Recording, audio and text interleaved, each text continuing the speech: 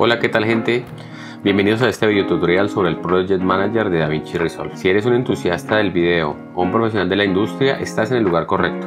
En este video te mostraré cómo aprovechar al máximo las funciones del Project Manager de DaVinci Resolve para mantener tus proyectos organizados y tu flujo de trabajo en perfecta armonía. Así que agarra tu taza de café y prepárate para sumergirte en el fascinante mundo de la gestión de proyectos en DaVinci Resolve. Esto es lo que veremos el día de hoy. Son un total de 11 puntos en los que desglosaré las funciones del Project Manager de DaVinci Resolve. Si en cualquier momento del video quieres saltar a un punto de tu interés o luego de ver todo el video quieres regresar y revisar un punto en específico, puedes hacerlo fácilmente mediante el uso de los capítulos disponibles en el video. Bueno amigos y sin más preámbulos, comencemos. La primera pantalla con la que nos encontraremos será nuestro Project Manager. Vamos a revisar los diferentes usos del Project Manager o administrador de proyectos. DaVinci Resolve requiere que realicemos la mayor parte de organización de proyectos en el Project Manager. Si tenemos un proyecto abierto, podemos acceder a nuestro Project Manager desde el icono en forma de casa ubicado en la parte inferior derecha de la interfaz de DaVinci Resolve. También podemos acceder al Project Manager desde el menú File y Project Manager y una tercera forma de acceder al Project Manager de manera rápida es con el atajo de teclado Shift 1. Una vez hemos accedido al Project Manager, vamos a revisar la gestión de los proyectos. Si queremos crear un nuevo proyecto, podemos hacerlo desde el botón denominado Nuevo Proyecto en la parte inferior derecha. Le damos un nombre a ese nuevo proyecto y le damos en el botón Crear. Otra manera de crear un proyecto es accediendo desde el proyecto por defecto denominado un Title Project. Para abrir un proyecto podemos darle clic derecho, seleccionar la opción abrir o darle doble clic a este proyecto. Una opción muy útil que tenemos en DaVinci Resolve es abrir un proyecto en modo de sola lectura. Haciendo uso de este modo, todos los cambios que ejecutemos en este proyecto no se guardarán en nuestro proyecto original. Si decido cerrar el proyecto actual DaVinci Resolve, me va a preguntar si quiero guardar una copia de este proyecto y el nombre que quiero utilizar. Por ejemplo en este caso motocross copia número 1 le doy guardar y DaVinci Resolve creará una copia del proyecto original con los cambios que he realizado. Ahora si quiero cambiar el nombre de un proyecto basta con dar clic derecho y utilizar nuestra opción de renombrado y hemos, cambiado, hemos renombrado el proyecto. También podemos hacer uso de la función Load Project Settings to the Current Project si queremos cargar la configuración de un proyecto que ya tenemos en nuestro Project Manager al proyecto actualmente abierto o en ejecución. Para poder utilizar correctamente esta opción, primero debemos abrir un proyecto, regresar a nuestro Project Manager y seleccionar el proyecto del cual queremos copiar la configuración al proyecto actualmente en ejecución. Para efectos de este ejercicio voy a copiar la configuración del proyecto Copy of Charts to Copia y selecciono nuestra opción Load Project Settings to Current Project. DaVinci Resolve me solicita confirmar si quiero sobreescribir las configuraciones del proyecto seleccionado al proyecto actual. Y al seleccionar el botón sobreescribir la configuración del proyecto anterior quedará sobrescrita en nuestro proyecto otra opción que tenemos en nuestro Project Manager es actualizar las miniaturas de los proyectos que estamos visualizando actualmente. Para hacer esto daremos clic derecho en alguna parte de nuestro Project Manager y utilizaremos la función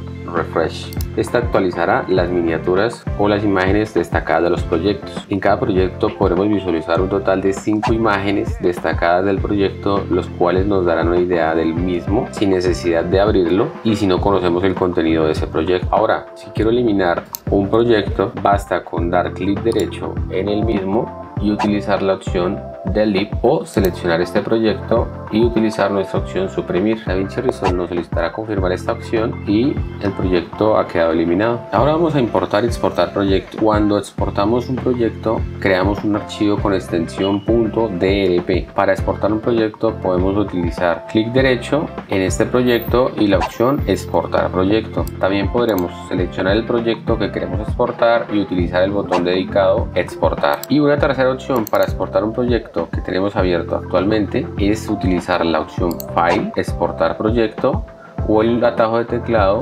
Control más E.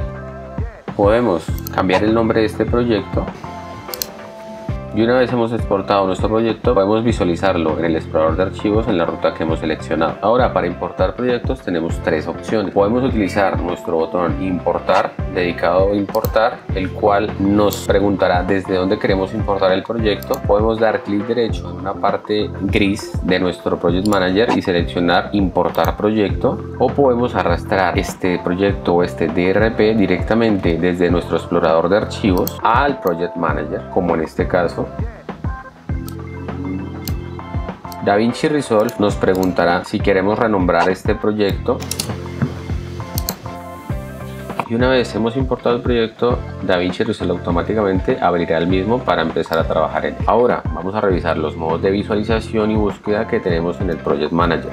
Tenemos dos formas generales de visualización, la visualización en miniaturas y la visualización en lista. Cuando estamos en la visualización en miniaturas podemos seleccionar con este deslizador el tamaño de estas miniaturas y la siguiente opción que tenemos es la opción para clasificar u ordenar los proyectos según el nombre, la fecha de modificación, el número de líneas de tiempo que contienen, el formato y el frame rate de los proyectos. En la tercera opción podemos mostrar u ocultar información de cada uno de los proyectos y en la cuarta opción que está tanto en la opción de vistas de miniaturas como la vista en lista, podremos hacer una búsqueda de proyectos muy útil cuando tengamos un gran número de proyectos en nuestra librería de proyectos.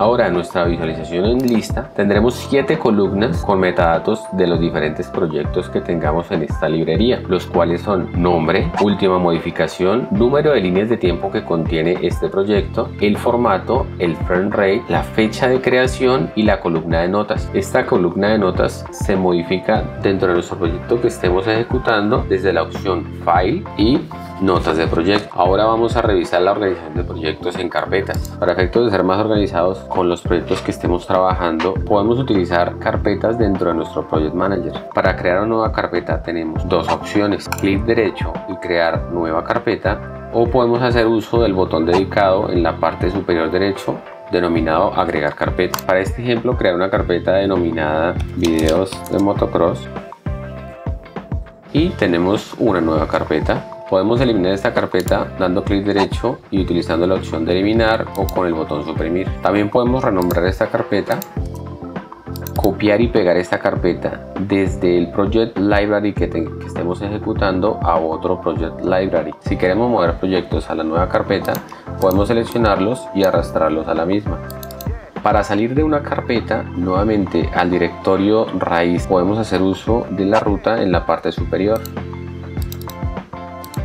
quiero sacar los proyectos que tengo dentro de esta carpeta, puedo seleccionarlos, usar control X y fuera de la carpeta usar control V y la carpeta ya ha quedado vacía. El hacer uso de carpetas nos puede facilitar mucho la clasificación de los proyectos. Esta clasificación de proyectos se realiza según el criterio de cada uno de ustedes. Podemos separarlas por años, por clientes, por marcas o proyectos con las que estemos trabajando. Ahora vamos a revisar la gestión de los project libraries que tengamos en el Project Manager. Podemos crear bibliotecas de proyectos adicionales según el criterio que cada uno quiera utilizar. Podemos hacer bibliotecas de proyectos para cada año, bibliotecas de proyectos separadas para cada cliente, no hay una regla específica para esta. Cabe resaltar que cuando tengamos proyectos guardados en bibliotecas más pequeñas o con menos datos, los proyectos se cargarán y guardarán de manera más ágil. En DaVinci Resolve tenemos tres tipos de librerías de proyectos o Project Library. El primer tipo es las librerías de proyectos locales. Podemos utilizar librerías de proyectos de red local o network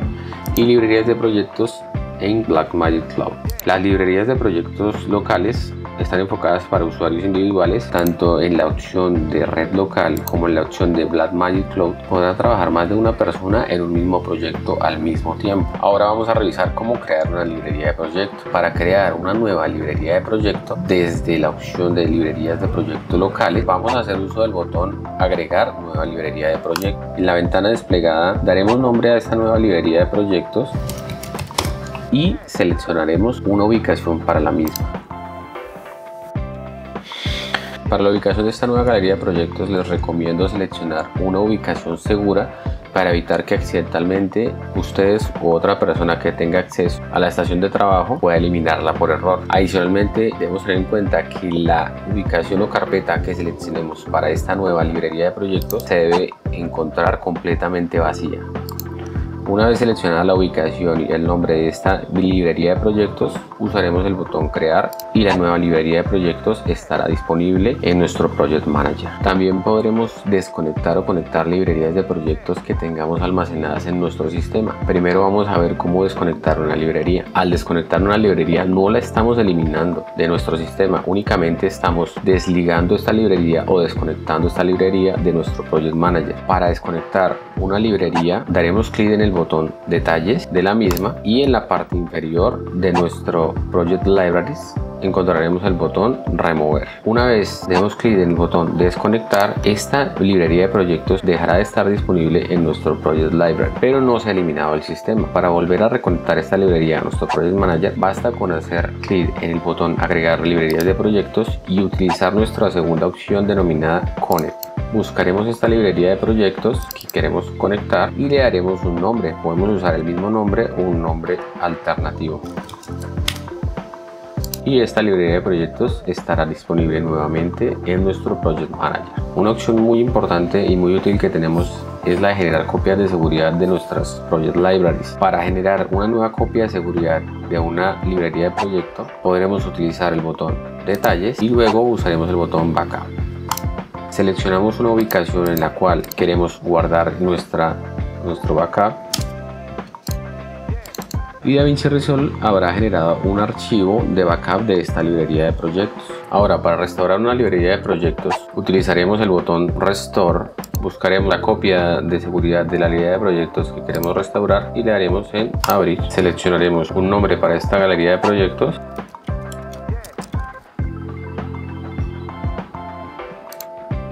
y una ubicación en la cual deseamos guardar esta galería de proyectos restaurada confirmaremos la restauración de la misma y tendremos disponible la galería de proyectos que se ha restaurado. Una parte muy importante que debemos tener en cuenta en nuestros proyectos es guardar los cambios. Podemos tanto hacer guardado de cambios manualmente como automáticamente. Cuando estemos dentro de un proyecto podemos guardar el proyecto utilizando la opción File y guardar. Podemos utilizar el atajo de teclado Control más S o si queremos hacer una copia diferente del proyecto que estamos utilizando podemos utilizar file y guardar como o save project as o el atajo de teclado control shift y s y guardaremos una copia del proyecto actual Ahora, para revisar nuestras opciones de guardado automático, nos vamos a dirigir al menú de preferencias de DaVinci Resolve o el atajo de teclado control más coma. Luego vamos a nuestra sección de configuraciones de usuario y a la segunda opción denominada Project Save and Load. Una vez aquí nos cercioraremos de que la opción Live Save esté activada. DaVinci Resolve guardará los cambios en tiempo real.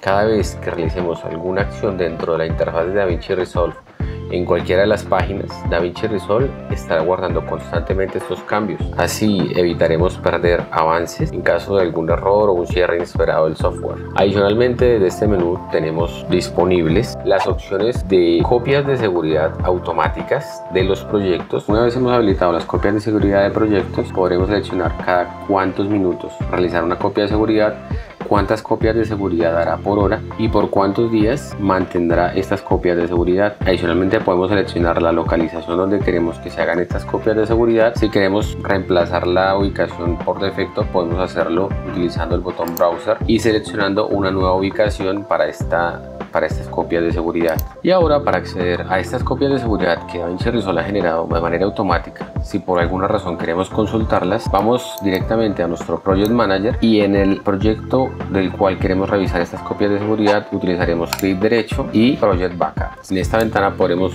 visualizar las copias de seguridad que DaVinci Resolve hizo, en qué fecha y hora la realizó y podremos cargarlas. Estas copias de seguridad no se sobrescriben sobre nuestro proyecto actual. DaVinci Resolve abrirá una copia de este proyecto haciendo uso del backup seleccionado y nos solicitará asignar un nombre a este nuevo proyecto que viene a partir de la copia de seguridad seleccionada. Para agregar contenido en la columna notas de los proyectos bastará con abrir uno de nuestros proyectos y dirigirnos al menú File y Project Notes.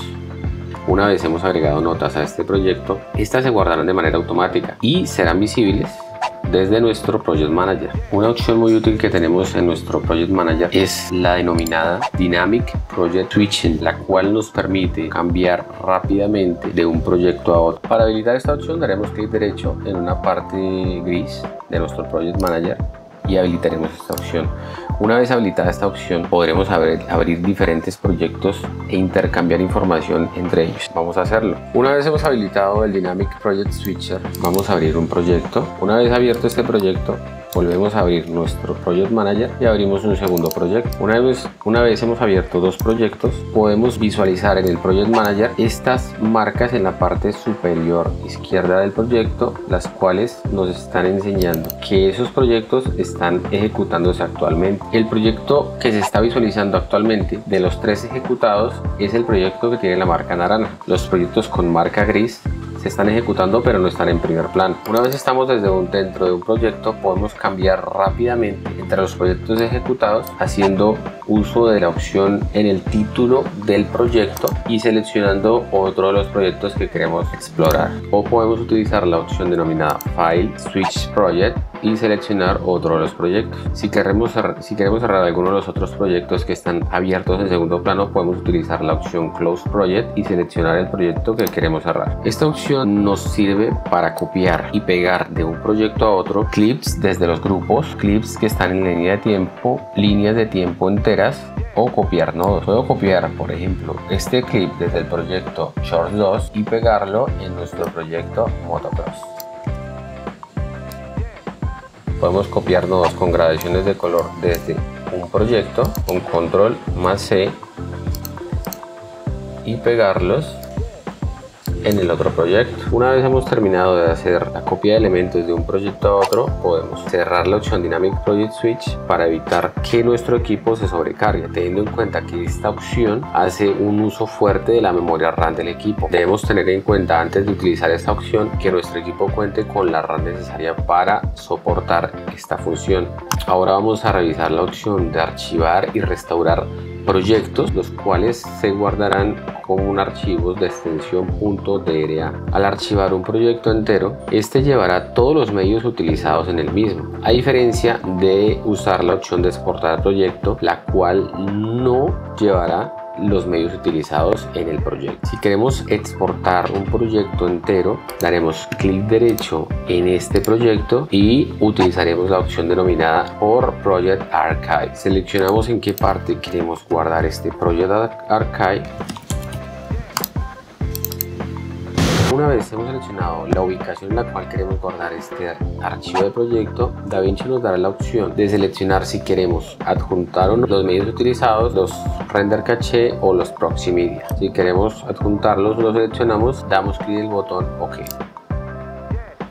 Una vez ha finalizado el proceso del archivado del proyecto, podemos consultar la ubicación y encontraremos una carpeta con una extensión .dra DaVinci Resolve Archive. Esta carpeta contendrá nuestro DaVinci Resolve Project y una serie de carpetas las cuales incluyen el material o los medios usados en este proyecto y el proxy media que tengamos del mismo. Ahora bien, si queremos restaurar un Project Archive podemos utilizar dos métodos. El primero es dar clic derecho un espacio en blanco y utilizar la opción Restore Project Archive. Seleccionaremos el Project Archive que queremos restaurar y le daremos clic en abrir. Podremos seleccionar un nuevo nombre para este Project Archive para que no haya conflicto con el que tenemos dentro de nuestra librería de proyectos y darle OK. Y ha quedado restaurado nuestro Project Archive con todos los medios usados en el mismo. Otra opción que tenemos para restaurar este Project Archive es arrastrar nuestro archivo .dra directamente a nuestro Project Manager.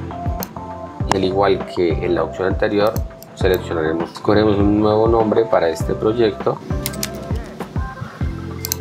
y de este modo DaVinci Resolve habrá restaurado este proyecto con todos los medios dentro de nuestra librería de proyectos.